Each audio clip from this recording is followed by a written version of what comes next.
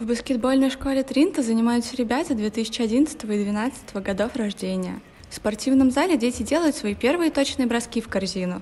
Пока мальчики учатся чувствовать мяч, оттачивают правильную стойку и быстроту смены рук. Всего в группе 40 человек. Каждая тренировка проходит по определенному плану.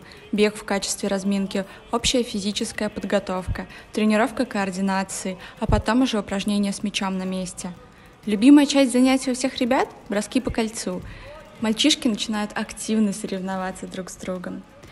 Тренирует ребят инструктор Антон Ширяев. Он уже больше 20 лет занимается баскетболом.